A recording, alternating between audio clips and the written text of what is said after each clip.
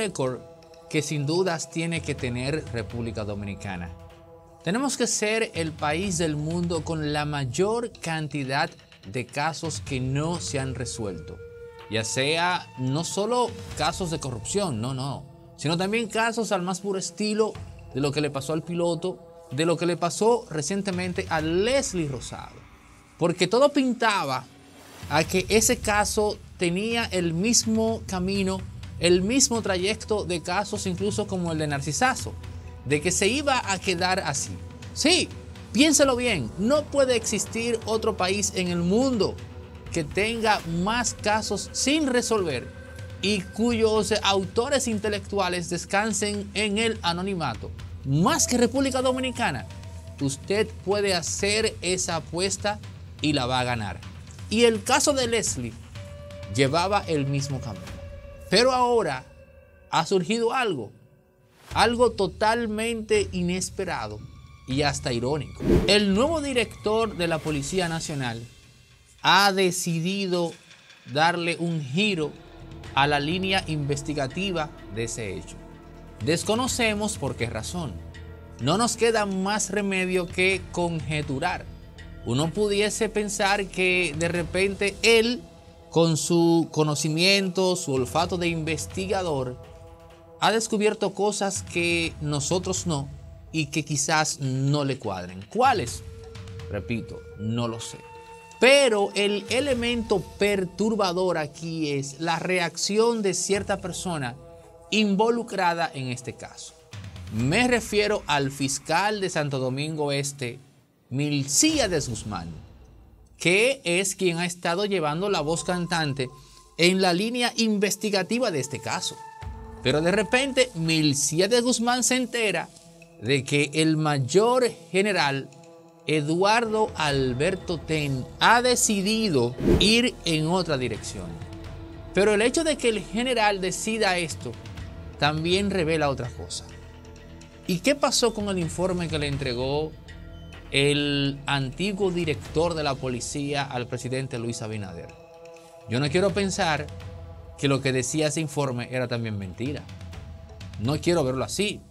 Prefiero pensar que al nuevo director no se le dio acceso al mismo y que incluso pudiese ser esa la razón por la cual él decide comenzar el caso del arquitecta desde cero. Y ojo con esto, oiga lo que he dicho, Comenzar el caso desde cero no significa que el general va a descartar a los implicados habituales, que en este caso son el motoconchista y el cabo.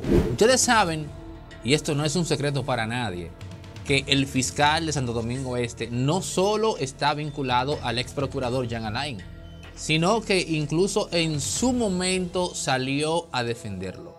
Otros fiscales lo acusan de picharle el juego al ex procurador al más alto nivel. Pero siendo objetivos, el hecho de que tú seas amigo de una persona que el resto de la sociedad infiere que estuvo en malos pasos, no significa a su vez que tú fuiste la sombra de ese personaje en sus malos pasos.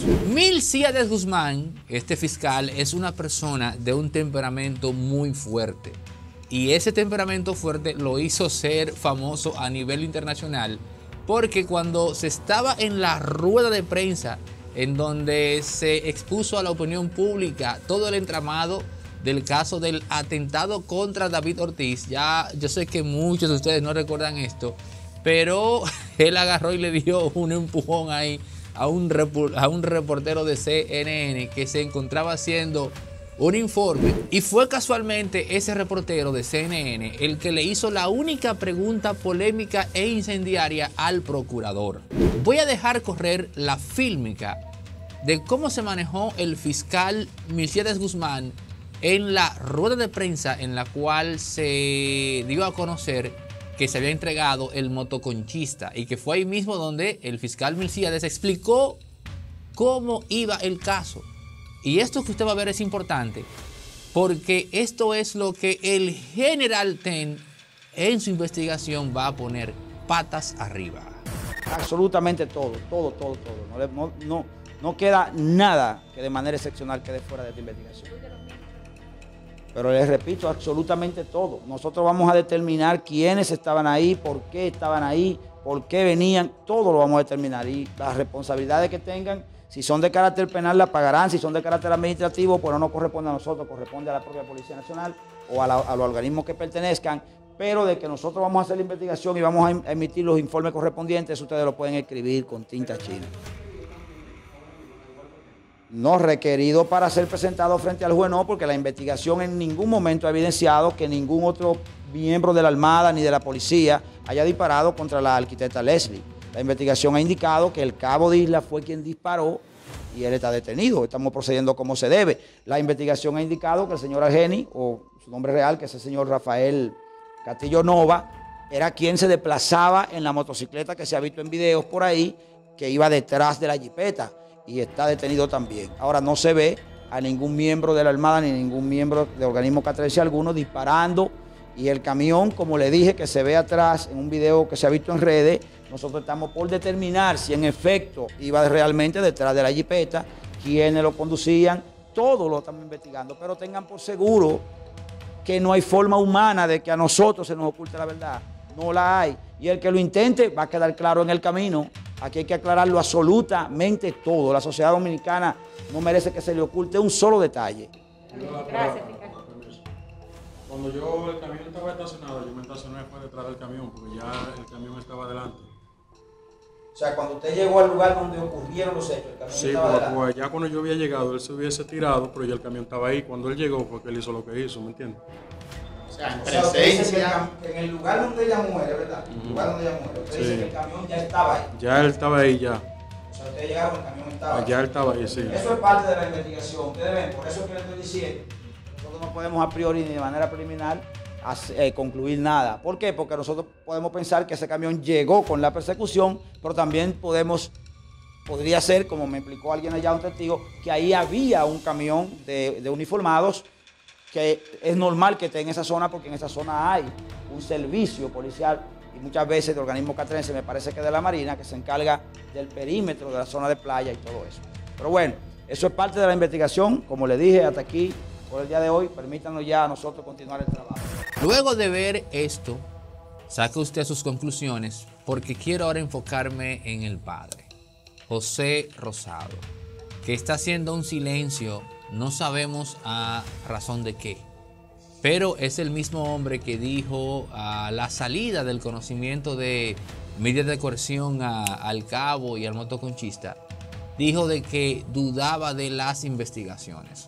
Creo que don José tiene ahora la oportunidad de cara al nuevo director que ha decidido retomar ese caso en otra dirección, porque es inevitable que mucha gente piense cosas que no son si siente que don José guarda silencio. Creo que es, tiene una oportunidad más bien histórica. Porque si dije al principio, ningún país tiene, tiene más casos sin solución eh, que República Dominicana, era porque este pudiese ser el caso que a nivel estadístico nos sacase de ese renglón en donde estamos en el primer lugar. ¿O es que acaso este tipo de hechos en nuestro país está condenado siempre a, digamos, salvarle, protegerle la espalda al autor intelectual? Yo pienso que ya tenemos que comenzar a preguntarnos, ¿qué tipo de persona, cuál es el perfil que tú tienes que tener para calificar, para ser autor intelectual de un hecho a esa magnitud y que ni el sistema de justicia, ni el presidente y nadie con mediano poder en este país se preocupe por sacarlo a la luz. Ahora, si hay algo en lo cual quedamos mal parados, y me refiero a la autoridad en este país, es al hecho de que en Boca Chica hay una banda que opera.